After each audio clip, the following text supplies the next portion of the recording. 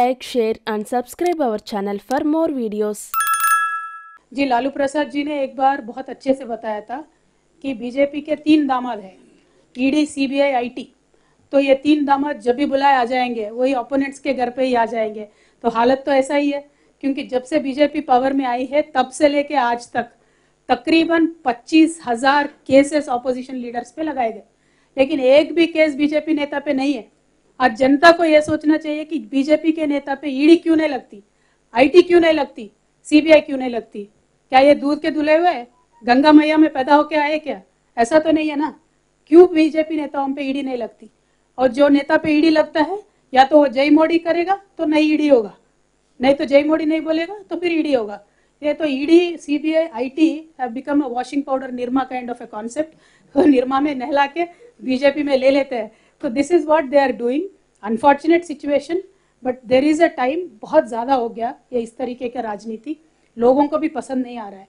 बराबर लोगों से एक इनकलाब निकल के आएगा और बराबर हमारे जैसे नेता जो है, जो लोगों में हमेशा रहते हैं, हमारे साथ जनता देगी, हमारा पूरा पूरा विश्वास है?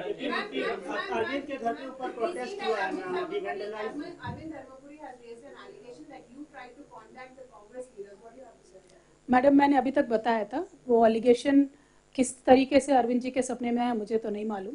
लेकिन आप तो नेशनल चैनल पे काम करती है, मैडम। आप खरगे जी को फ़ोन लगा के पूछे क्या मैंने खरगे जी से फ़ोन किया है, बात किया है? वैसे मुझे किसी भी पार्टी में ज्वाइन करने में कोई भी इंटरेस्ट नहीं है। हमारा पार्टी टीआरएस अभी बीआरएस बनाए कल को नेशनल लेवल पे काम करेगा। हम बराबर नेशनल लेवल पे काम करेंगे।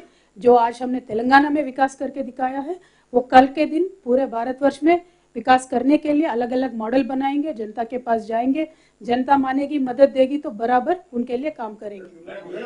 उनके पास पूछने को क्या है जी? अरविंद जी हमारे ये क्या बोलते बुरदा मट रहे ना दिलो कीचड़ के तरह होते हैं हमारे अरविंद जी, इसीलिए हम लोग कोई उनके ऊपर पत्थर नहीं डालते।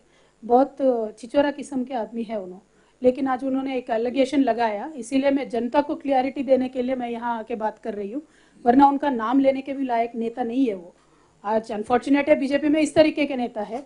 तो मैं जनता से इतना ही अनुरोध करना चाहती हूँ, आप पॉलिटिक्स में डिग्निटी मत गिराइए।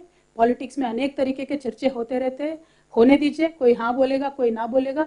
इसका ये मतलब नहीं होना चाहिए, उनके ऊपर ईडी प्रयोग करो सीबीआई प्रयोग करो आईटी प्रयोग करो। ये जरा ये जरा भी इंसाफी नहीं है, ये जरा भी एक पॉलिटिकल तरीका नहीं है। पॉलिटिक्स को पॉलिटिकली ही सामना करना पड़ेगा, और हम तैयार है। थैंक यू सो मच जय Telangana. Please like, share, and subscribe our channel for more videos.